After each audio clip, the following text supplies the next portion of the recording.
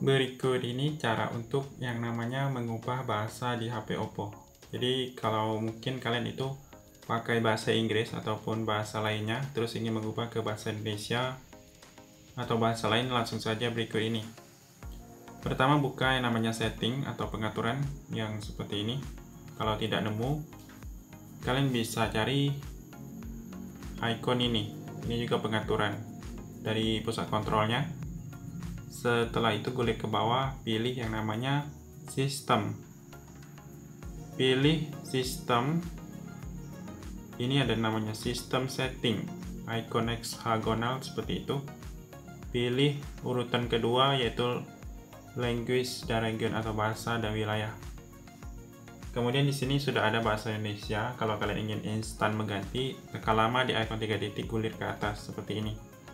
Atau kalau tidak ada, Pilih add language atau tambah bahasa. Nah, di sini cari bahasanya, misalnya Melayu. Nah, apakah ingin membuat sebagai sistem membuat sebagai default default bahasanya pilih yes. Nah, seperti ini. Atau kalian bisa pakai bahasa Indonesia tekan lama kulit ke atas. Pilih ubah ke Indonesia. Itu saja semoga bermanfaat.